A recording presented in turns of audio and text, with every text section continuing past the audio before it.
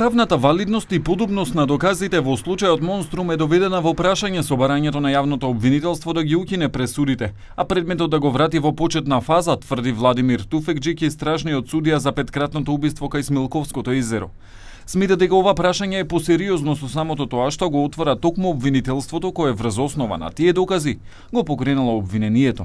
Се доведуваат во конотација со наводно нелегално прислушкувани телефонски разговори и во таа смисла сметам дека е крајно време.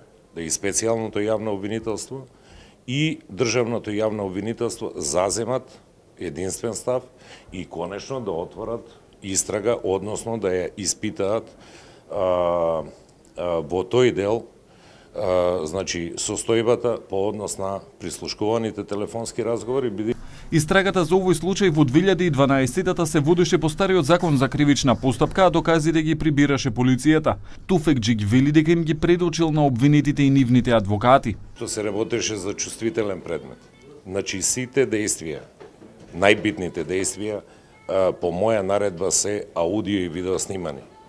Што значи од таму може да се излече заклучок и доколку се направи увид во тие снимки, ќе се види дали некој на некого вршил притисок, дали се изведени сите докази, кои денеска, на кои денеска се става знак прашање.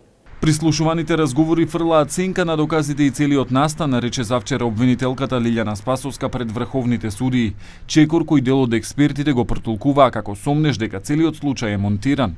Giudicato Supremo gli anni di mise tutta pra non proposire procuri speciale, faktisht të prokurisë shtetërore në rasin konkret, të bërë në abrogimin e të dy vendimeve, akt gjykimit të shkallës parë, akt gjykimit të shkallës dytë, dhe lante të këthejet përsërin e gjykatën penale shkupi një në shkup.